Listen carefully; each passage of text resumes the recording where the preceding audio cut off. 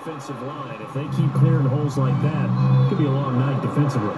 No doubt about it, because when they are in sync, as we're seeing so far, well, that continuity is there, and you can see that they're trying to get it to Adams, but it's intercepted. Picked up by the former first-rounder Artie Burns. And he brings this one back. It's a pick six for a Steeler touchdown. And quickly to work, and it's picked off. Six. Jaylen's.